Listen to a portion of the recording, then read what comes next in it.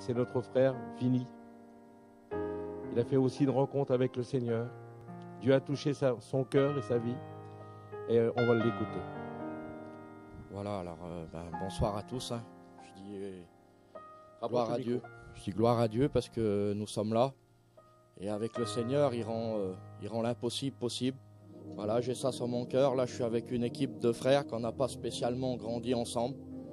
Et nous sommes là réunis pour un seul but, c'est dire un mot de la part de Dieu. Voilà, puis moi, pour, euh, pour ma part à moi, j'ai n'ai pas été tout le temps chrétien. J'ai essayé de vous expliquer ça au plus simple avec mes mots. Moi, j'ai grandi dans, dans un contexte que, que j'avais une certaine liberté avec mes parents. Donc très jeune, très très jeune, j'ai commencé à aller dans ce monde. Et comment vous dire, Seigneur, avec euh, voilà, les mots que je vais pratiquer sont peut-être pas élégants, peut-être certains mots vulgaires, mais voilà, moi j'ai envie de vous expliquer ce que j'étais réellement et très très jeune. Ben, j'ai commencé à toucher aux choses du monde. Parmi ces, toutes ces choses, ben, il y avait l'alcool. Il y avait malheureusement j'ai touché aussi à la drogue. Voilà, je vous le dis à ma honte, mais c'est une vérité, été comme ça. Et donc très jeune, j'ai commencé à faire plein de choses qui n'étaient pas à la gloire de Dieu et en vieillissant, je me suis pas amélioré, mais pas, pas du tout. Je me suis pas amélioré, au contraire, j'allais dans la descente. Et avec le temps, ah ben, il y avait des liens davantage qui venaient. J'ai un garçon qui a un certain moment qui a attrapé la haine dans le cœur, qui a passé par des problèmes avec des garçons assez compliqués. Voilà, je ne veux pas rentrer non plus dans, dans les détails. Donc moi j'ai fendu un foyer à l'âge de, de 27 ans. Je me suis marié, j'ai eu une petite fille. Et donc, c'est pas de moi ce qui faisait un homme qui était qui était chrétien, on va dire, pas du tout, mais j'étais, on va dire que je me suis assagi, je faisais moins de, de, conneries, mais j'étais pas du tout chrétien. Voilà, puis j'avais une pensée sur, sur les chrétiens, c'est ma pensée. Une personne qui rencontre le Seigneur dans la difficulté, moi, je n'approuvais pas ces choses-là. J'étais orgueilleux, si vous préférez, donc j'ai fait ma vie comme ça et il y a deux ans en arrière, j'ai passé par une séparation de, mon grand-père, une logique de la vie, hein, qui est un garçon d'une trentaine d'années qui perd son grand-père. Et comme on m'a appelé là, comme on m'a dit, viens avec ton père, j'ai arrivé là-bas sur les lieux et j'ai vu, mon papou allongé par terre là, ils ont dit il est décédé. Voilà, je veux pas faire ma, comment dire, des sentiments familiales, mais ça m'a tué. Je dis devant Dieu, tout, tout que comme j'étais, que je faisais l'homme, je faisais le dur, je faisais ce que je, ce que j'étais pas en réalité. Et ça m'a touché dans mon cœur. Voilà, comme je parle de ça, ben, j'ai des émotions, je pleure, c'est comme ça. Et là, j'ai guetté mon père. Et j'étais dans tous mes états. Et ça passait deux jours. Et au bout du deuxième jour, c'était le jour de son enterrement. C'était le jour de Dieu pour moi. Parce que même dans la mort, il y a la vie. Et parmi ces jours, euh, ce jour le, plus triste de ma vie, là, le plus vilain jour de ma vie, bah, j'ai fait la plus belle rencontre de ma vie que je regretterai jamais de ma vie. Donc cette journée-là, il, est venu le, camion qui a porté les, les, fleurs, et parmi les fleurs, il y avait un verset qui disait Il n'y a pas plus grand qu'amour que donner sa vie pour ses amis. Et dans ce verset, il y a un pasteur qui a changé euh, le mot. Le mot, il a mis ses enfants dernier. Voilà, et comment dire, au, littoral directement, le verset ne veut pas dire ce que je vais dire, mais moi dans mon cœur, je l'ai pris comme ça, le Seigneur, il m'a parlé à ce moment-là. Il a dit, Vini, j'ai pris ton papou là au dernier moment, je l'ai sauvé, maintenant je te sauve à toi. Et je vous dis, j'étais pris entre, entre deux. Et là, l'ennemi, il était là, puis il rappelait mon passé, il me rappelait mes pensées, qui disaient que j'étais que j'étais un orgueilleux, que je ne pouvais pas donner mon cœur à, Dieu comme ça, puis que je m'en sortirai par, par mes propres forces. Et je combattais par mes forces. Et j'étais, j'étais triste, j'étais envahi de tristesse. Et au bout d'un certain temps, ils ont chanté, ils ont chanté un cantique. Et je combattais avec moi-même. Voilà, je vous le dis avec mes mots.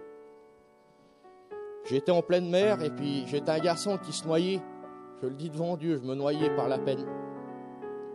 Et au bout d'un certain temps, j'ai pris la décision parmi le cantique, là j'ai dit Seigneur, je veux être un chrétien. J'ai levé la main avec tous mes défauts, avec tout ce que j'avais dans mon cœur là. Et donc la journée elle a passé là. Et je vous dis sincèrement, voilà, c'est mon ressenti à moi avec le recul. J'ai donné mon cœur à cet instant-là, mais il a fallu que je persévère une journée. Et le lendemain, dans, dans, la soirée, il était environ euh, minuit, une heure du matin.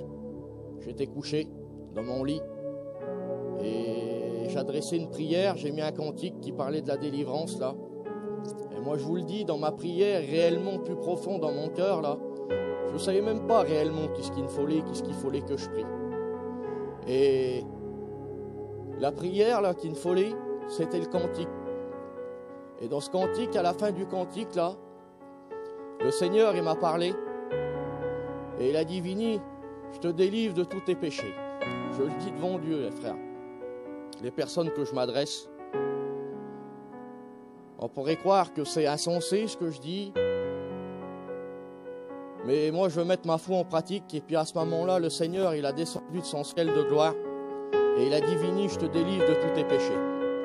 Et à partir de ce moment-là, j'ai reçu la nouvelle naissance. Il a enlevé mon cœur rempli de haine, rempli de liens, rempli de toutes ces vilaines choses-là. Et le Seigneur, il a mis son amour. L'instant là, là j'ai arrêté de combattre mes pensées.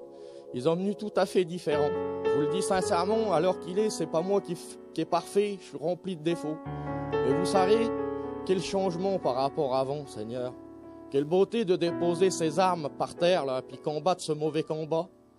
Comme on est orgueilleux, on se combat à nous-mêmes, on combat les, notre famille, on combat les, gens autour de nous. Arrêtons avec tout ça. On a un seul ennemi, c'est, il invisible, c'est le diable, il nous veut notre mal. Alors combattons-lui. Mais par nos forces à nous, on n'a pas de force. C'est le Seigneur qui donne les forces.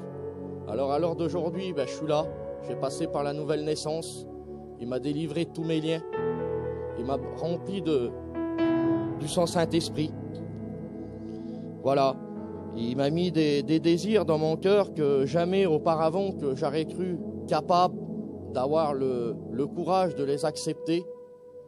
Mais parmi sa présence, comme on laisse un accès dans notre cœur, ah ben, le Seigneur en surpasse on surpasse toute épreuve, vous savez. Voilà, et parmi son, son désir qu'il a mis dans mon cœur, ah ben un jour j'ai accepté de le servir. Et donc je le servirai comme dans les bons et dans les mauvais jours. Il y a un verset qui dit va avec tes forces, et je vais m'appuyer là-dessus. Il y a un verset qui dit dans Exode, qui dit Moïse qu'il a du mal à s'exprimer. Ah ben, l'Éternel, il dit va, va avec ta bouche et je la remplirai de, de mon esprit. Voilà, ça fait que je m'appuie là-dessus. Et je vous le dis sincèrement, le meilleur choix qu'on peut faire. C'est vrai que c'est pas tout le temps rose, on a des combats, on a des tristesses, mais on a Dieu avec nous et au bout on a le salut. Et voilà, que Dieu vous bénisse à tous. Merci Seigneur, gloire à Dieu. Eh bien oui, on pourrait terminer par ce beau verset. Jean 15, 13. Le plus grand amour, c'est de donner sa vie pour ses amis. Et je voudrais qu'on finisse sur ce verset, que ce verset, les témoignages que vous avez écoutés, ces vies transformées, cette parole qui est merveilleuse, ce Saint-Esprit qui change toute chose, qui construit sur des ruines, qui relève, qui donne la joie, qui donne l'espérance, qui donne la paix. Eh bien tout cela, c'est à cause que quelqu'un a donné sa vie pour nous. Et le plus grand amour, c'est de donner sa vie pour ses amis. Eh bien, il a donné sa vie pour chacun de nous, mais aussi pour toi qui nous regarde. Parce qu'il t'aime. Et le plus grand message que tu peux écouter, le plus beau chant que tu peux écouter, eh bien, c'est que Dieu t'aime. Car Dieu a tant aimé le monde qu'il a donné son Fils unique afin que quiconque croise en lui ne périsse point, mais qu'il ait la vie éternelle.